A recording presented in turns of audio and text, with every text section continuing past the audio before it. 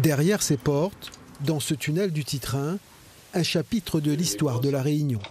Ces pages ne sont pas encore totalement déchirées, mais sérieusement abîmées, comme cet autorail des années 49-50 qui meurt de faire du surplace.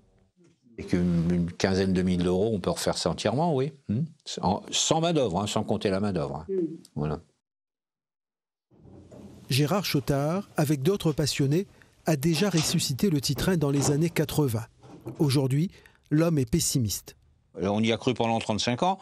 On a un petit peu le moral dans les godasses, on va pas se cacher. Hein.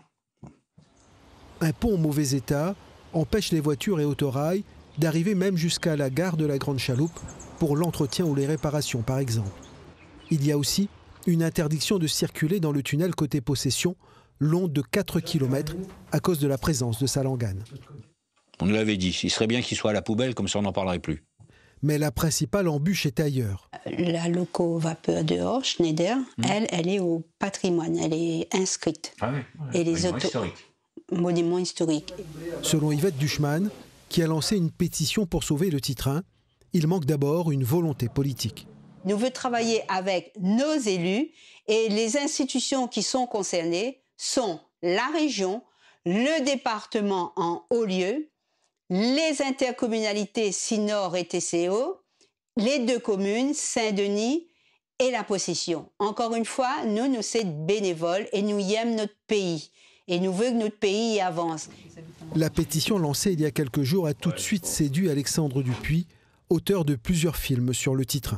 Le patrimoine, c'est que ce soit bâti ou roulant, c'est quelque chose qui est important. C'est que on doit préserver le patrimoine, on doit c'est notre richesse. Voilà, et c'est nous alors que, comme on dit. C'est un patrimoine exceptionnel. Il n'a pas d'autre patrimoine comme ça. Vous allez dans un musée, il y, a, il y a, une histoire. Ici, en même temps, vous avez le côté ludique. Faites venir une classe de, de, de je sais pas, une classe de maternelle ou une classe de, de je sais pas, de CM1 par exemple ou de CM2, vous les faites venir ici, vous allez voir comment ils vont sortir. Ils vont sortir avec la banane, hein, il n'y a pas de problème. Le titre 1 devait, selon les déclarations du gouverneur en 1882, renouveler la face du pays. Aujourd'hui, c'est le pays qui semble se voiler la face, refusant de voir la nécessité de continuer à faire vivre ce patrimoine.